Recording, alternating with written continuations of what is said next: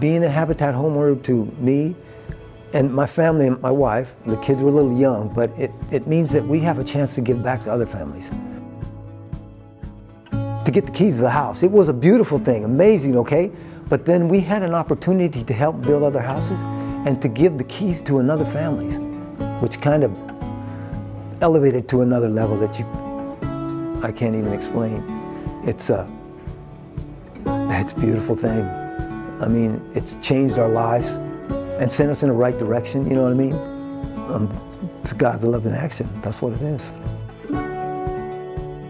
Habitat's vision of a world where everyone has a decent place to live is very important to me here in Kern County.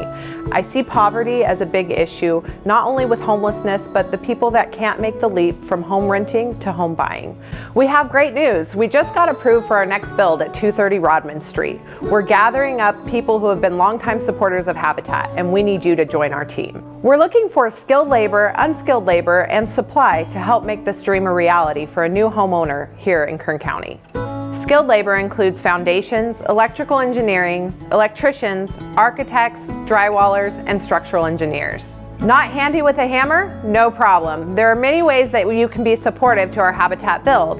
You can come learn how to frame, paint, landscape, and fence the property at Rodman. We would love to have you join us. We can also use help with supplies for the Rodman build.